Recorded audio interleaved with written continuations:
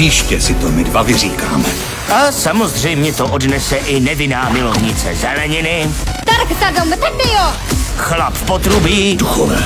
taky random kuchař, autíčko, Alenka za zrcadlem a mizernej zeměpisář. V Japonsku by si zevnul. Nejsme v Japonsku. Je to prostě boj. Kultovní movie ve čtvrtek večír.